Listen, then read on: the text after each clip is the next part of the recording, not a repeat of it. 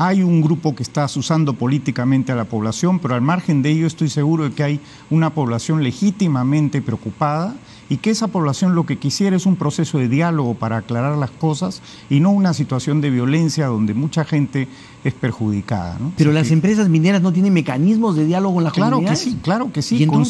constantemente estamos conversando. Lo que pasa es que si, si se genera esta situación en la cual se empieza a asusar a la población, se empieza... ¿Quién asusa a la población? Es, son distintos grupos, eh, es algo que nosotros estamos viendo y de ahí el llamado de atención nuestro al, al, gobierno y al país. Que lo peor que podemos hacer es descalificar al otro actor, ¿no? Y decir que es alguien manipulado, que es alguien violentista, que es alguien que está loco y que por la nada sale a generar este tipo de protestas. Una protesta en realidad siempre tiene situaciones detrás que entrañan una serie de demandas que para la población son eh, demandas justas y creo que muchas de ellas hay que tomarles atención porque tienen que ver con la desatención que la población siente, con eh, muchos problemas que se generan alrededor de grandes actividades y eso de ninguna manera se puede desconocer. Entonces, ¿usted sí cree que hay causa justa en los reclamos?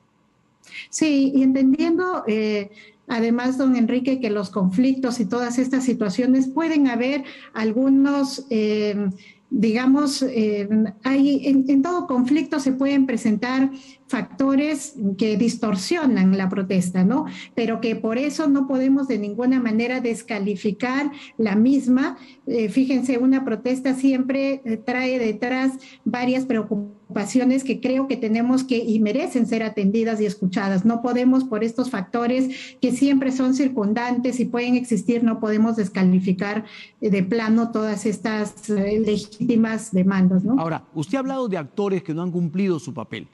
¿Cuáles son esos actores? ¿A qué actores usted se refiere que no han cumplido su papel? ¿Desde dónde empieza a dónde termina?